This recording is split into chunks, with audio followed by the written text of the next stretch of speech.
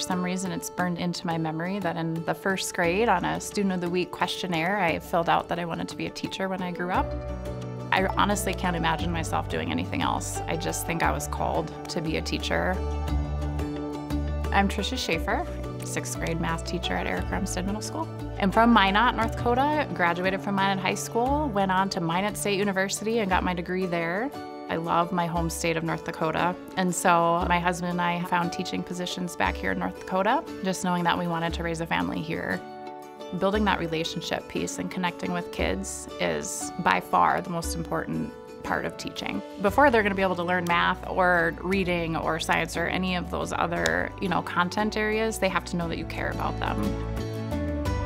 It is paramount that we have a good working relationship with parents as well. They know their child better than anyone else, and so we've got to be on the same page and be able to talk about how we can together support their child.